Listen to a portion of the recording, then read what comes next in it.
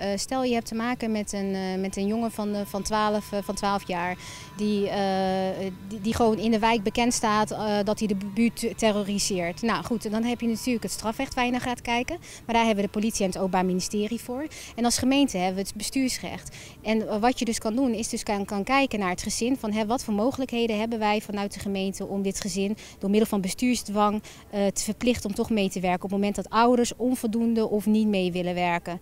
Nou, dan kun je kijken van is er bijvoorbeeld sprake van een uitkering in het gezin. He, leerplicht biedt vaak ook mogelijkheden om ouders te verplichten om mee te doen. En op het moment dat ze dus niet willen, dat je, uh, dat je uh, gewoon bestuurlijke boetes op kan leggen. En op het moment dat ouders het in hun portemonnee merken, nou ik denk wel dat ze er dan heel anders tegenover staan.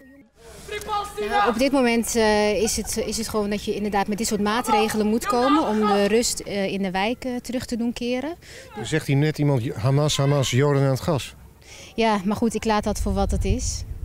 Maar is dit niet ongeveer wat het is? Ik bedoel, moet je dit nu serieus nemen of is dit qua jongensgedrag? Moeten we het zo zien? Nou, uh, qua uitspraken die ze doen uh, gaat het natuurlijk uh, nogal ver. Maar uh, als ik ga kijken naar de leeftijden en wat voor soort type jongens ze zijn... dan heeft het veel te maken met aandachttrekkerij en stoerdoenerij. En dat heb je natuurlijk ook vaak ook in groepsgedrag. Dus, en de camera draait nu natuurlijk, dus dan, dan ga je natuurlijk ook krijgen dat, ja, dat ze natuurlijk de, de aandacht op zich willen vestigen.